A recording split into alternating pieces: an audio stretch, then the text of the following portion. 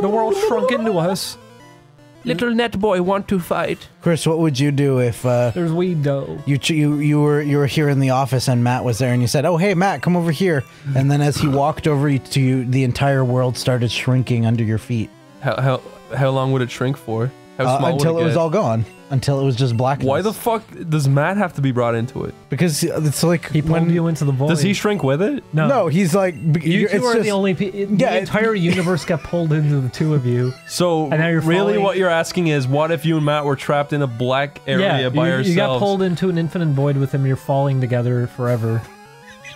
I don't know. I'd probably like weightlessly flip him upside down and start sucking him off, Okay, and he'd do the same for me. I hope. that's a good that's a good uh, response. I'd take off my t-shirt and use it like a parachute, and it would look really cool.